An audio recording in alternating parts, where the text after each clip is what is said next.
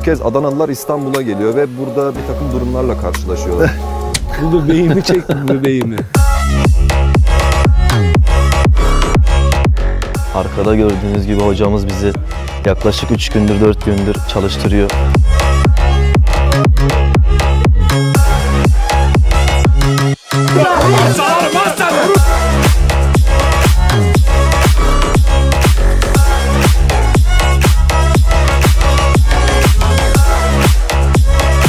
Gene o özlediğiniz aksiyonlu sahneler olacak.